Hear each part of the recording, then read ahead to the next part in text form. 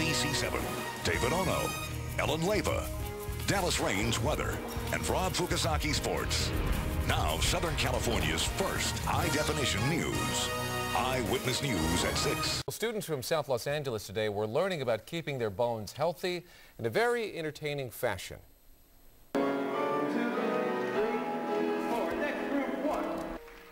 The world-famous Dance Theater of Harlem Ensemble performed for 1,200 youngsters at USC celebrating Black History Month. But along with the history lesson, a doctor from Kaiser Permanente was teaching the kids about healthy bones and good posture. And our Philip Palmer was master of ceremonies for this event. You know, if I didn't slouch, I'd be as tall as Philip, too.